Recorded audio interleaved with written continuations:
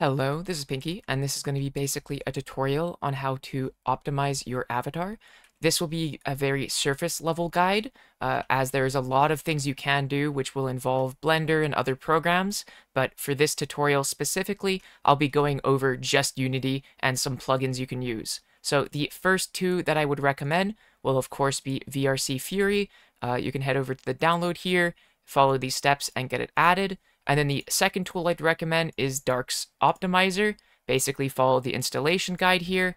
After you've successfully read and done this all, if you head over into your Unity, go to your Creator Companion, and if you have your project here, as you can see it's active, go to the Manage Project section, and you should see VRCFury and D4rk Optimizer. Now, in this case specifically, you can see that there's an update, so I'll actually want to update my version here, and you want to make sure that everything in your list is on the latest latest version. And if you know, if you want to know if it's installed or not, you should have a red minus sign. This basically means you can remove it, which means that it's installed. And if there's something in this list that you don't want or you do want added, you just hit the plus to add it. Now, after we're done that, uh, it's basically just going to update. So this is an expected thing that should pop up.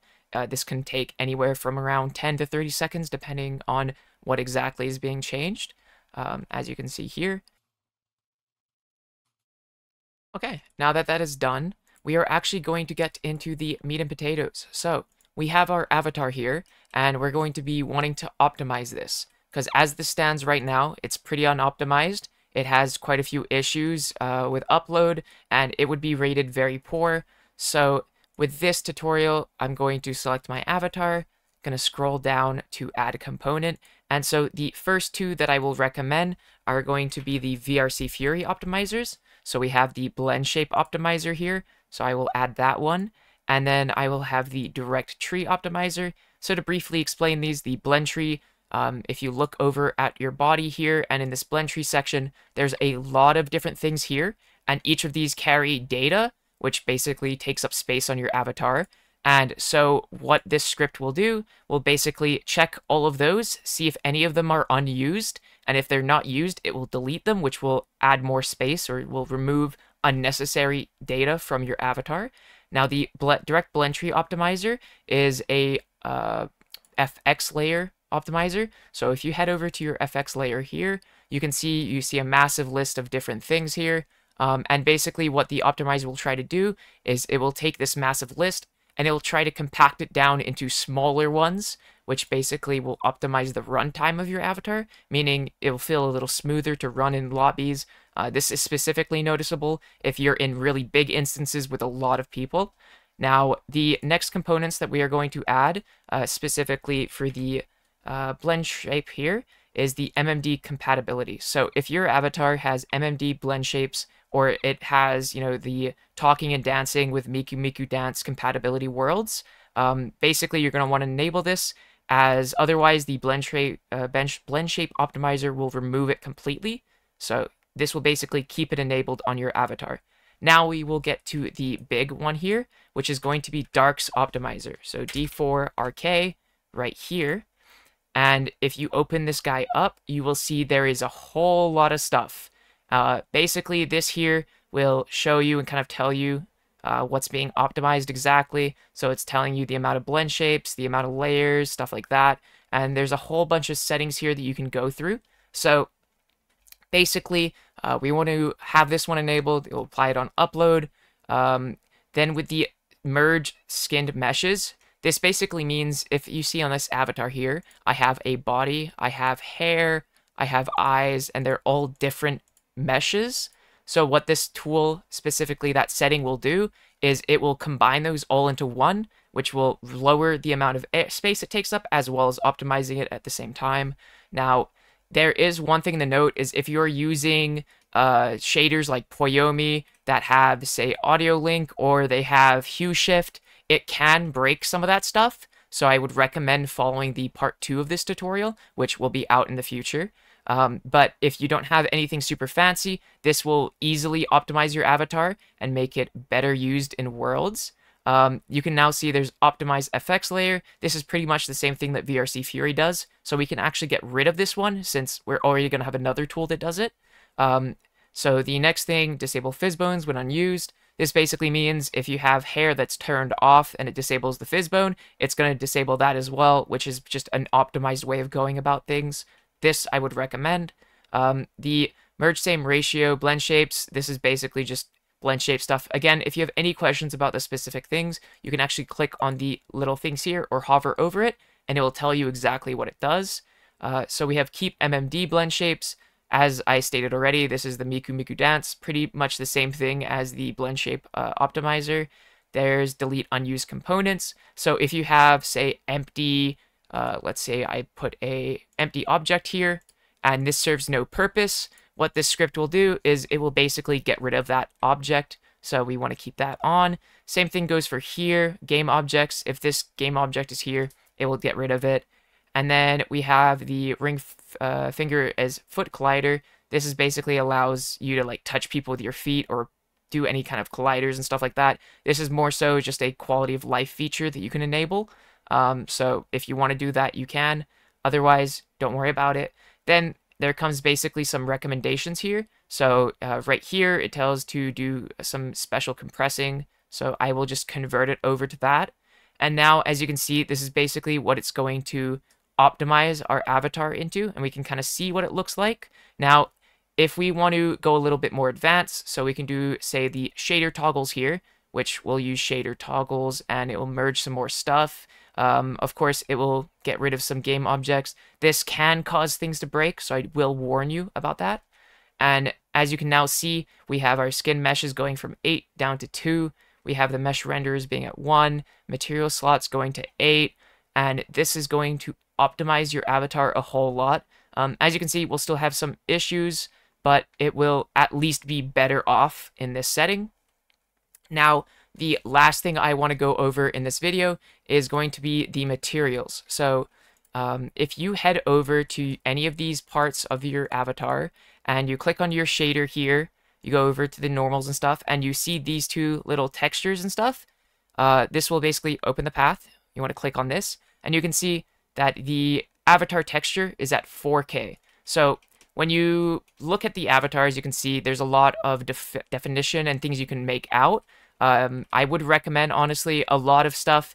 Basically, you want to keep your body at 4K, and almost everything else should be less than that. So, as an example, this normal map should not be at 4K. This should be at around 2K or even 1K. You can get away with that. So for this example, I'm going to set it to 1K, and I'm going to hit apply to that. Uh, same things with this one. This is also a body map, so I'm going to change that to 1K. Um, same here.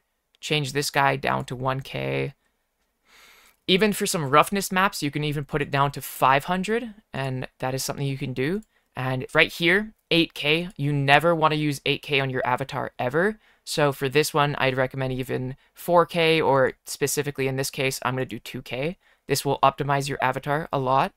So I'm going to just quickly go over each one of these. Uh, this texture is fine. The eyes here. Um, right over here. We can put those down to 1K. A good rule, rule of thumb is if you look at your avatar and you look at its different parts, um, as you can see, the body will be taking up most of it. So that's why you set that one to 4K. The clothing tends to be about one half. So you set that to 2K or 1K.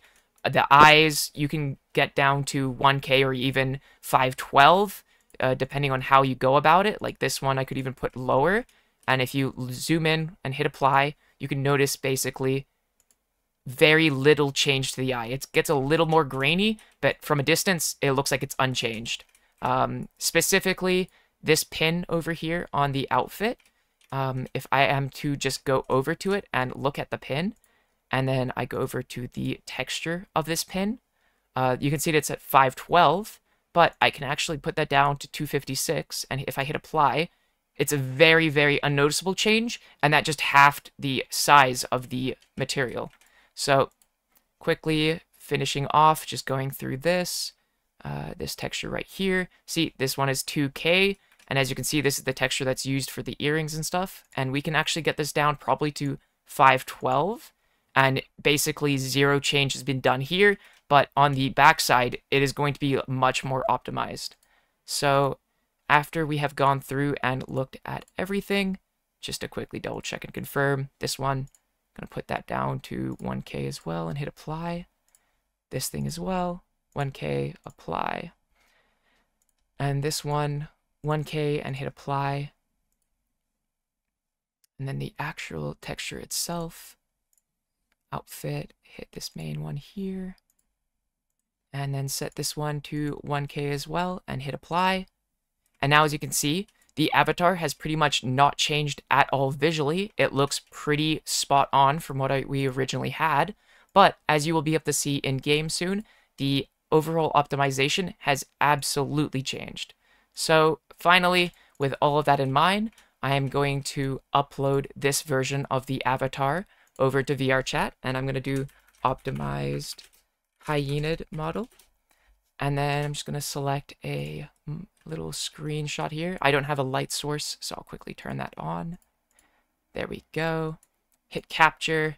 So as we can see, our model, optimize hyenid.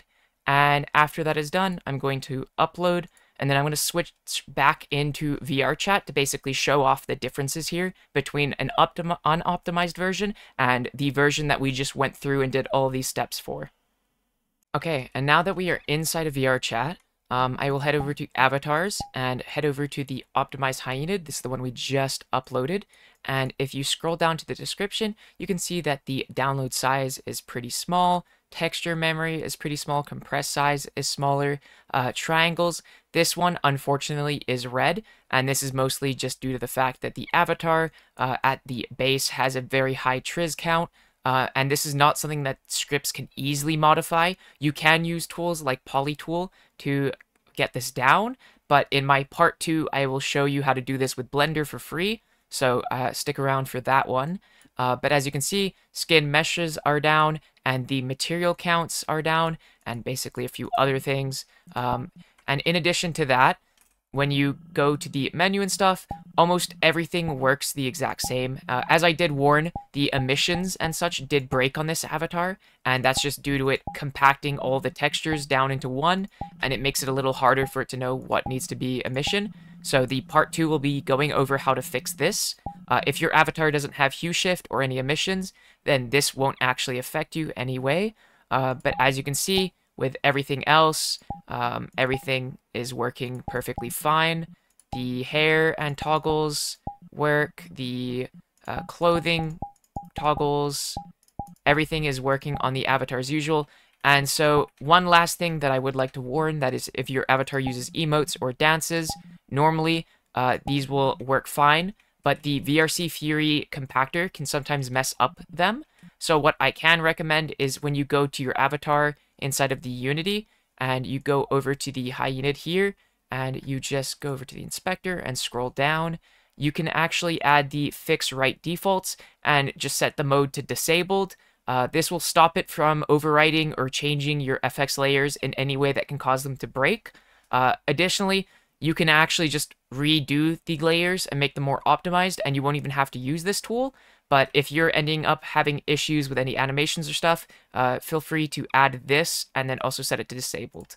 Now, one last thing I would like to mention is with the body here, you can, uh, what I personally did is the body texture, I put it down to 2K uh, instead of 4K just because it didn't make a big difference here.